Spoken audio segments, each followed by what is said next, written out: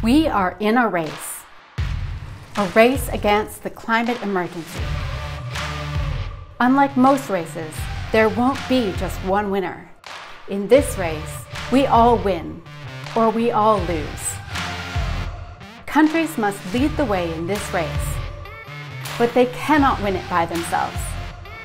This is why today, cities, regions, businesses, investors, and civil society are coming together to launch the Race to Zero, the largest ever coalition of leaders to commit to one goal, zero emissions by 2050 at the latest.